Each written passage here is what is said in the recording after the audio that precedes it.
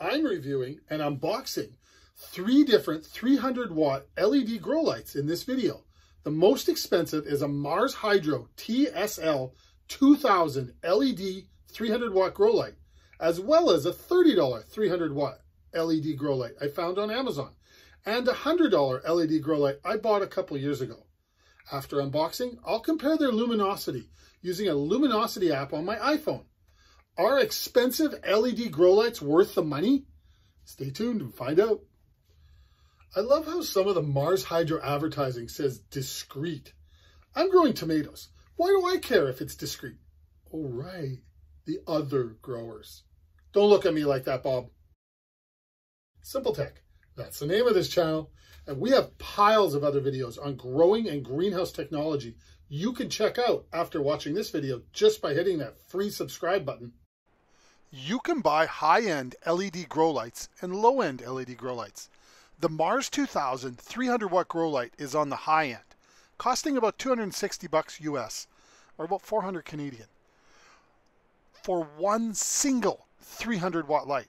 Now, you can get 300 watt grow lights on Amazon or eBay for about $30. Why spend upwards of 10 times as much for a Mars Hydro 2000 LED grow light?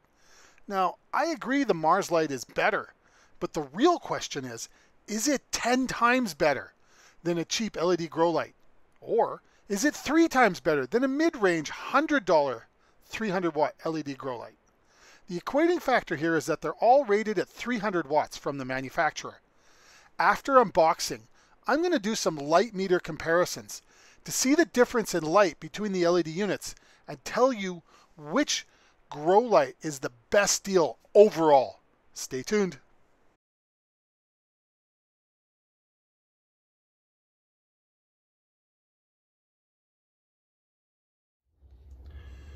Here we go.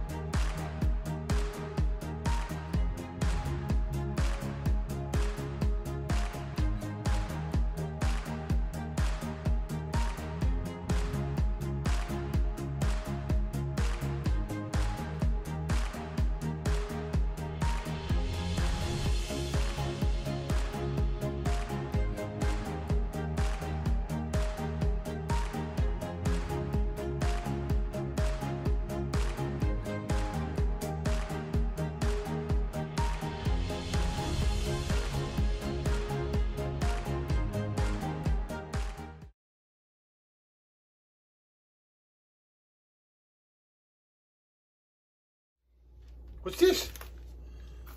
What's this?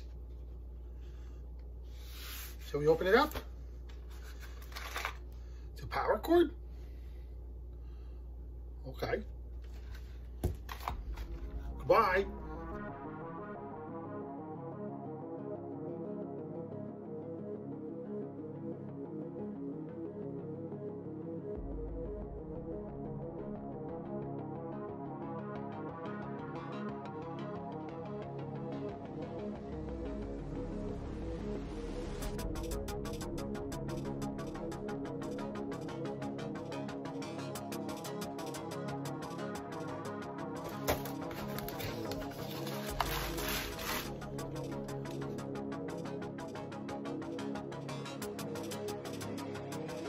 Else.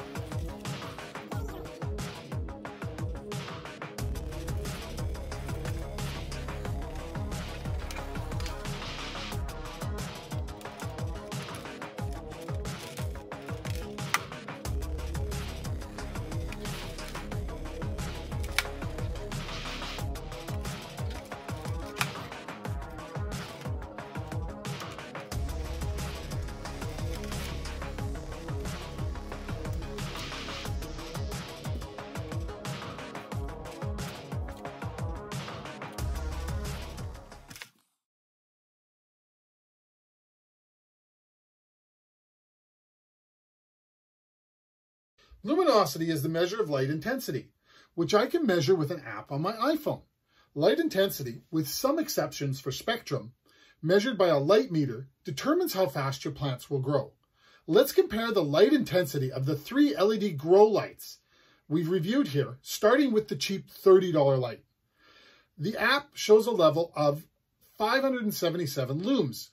To put this in perspective, a 15 watt LED light I use in my house is about the same amount of light. Not impressive at all for a light rated at 300 watts. Next is the $100 LED light I've had for a few years. It comes in at about 6,500 looms. Not bad. More than 10 times the amount of light as the cheap light and double the surface area so it'll illuminate more plant area.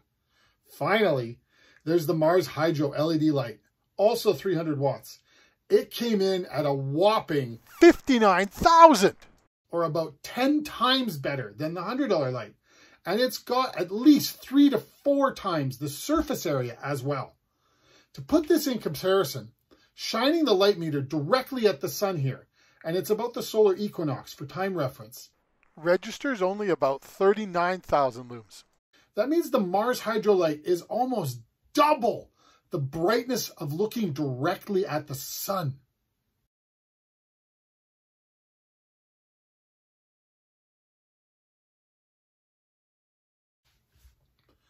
I think the results make it clear the actual value of the Mars Hydro Light and how advertising can be deceiving. Trying to use the other two lights once you see the performance of a real grow light is just wasting time and money. I'm going to do some growing experiments with these three lights in the near future and post videos of that. Subscribe to the channel and hit the bell to follow the results when I post them. You'll find tons of other videos on greenhouses and growing on this channel too if you look through Simple Tek's Video Library on YouTube.